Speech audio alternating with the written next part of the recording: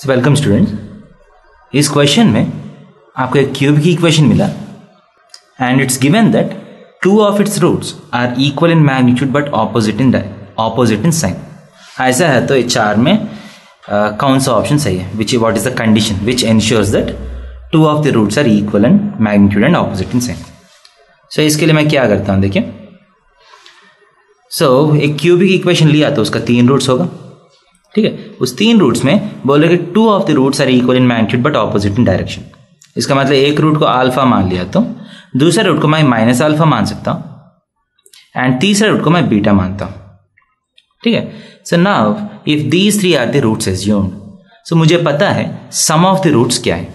Sum of the roots is alpha minus alpha plus beta is equal to क्या होना चाहिए sum of the roots according to the three of equations एक cubic equation का sum of the roots is minus of x square coefficient by x cube coefficient सही that is equal to p so alpha minus alpha cancel हो रहे हैं so this implies beta is equal to p इसका मतलब है should be one of the root of this equation.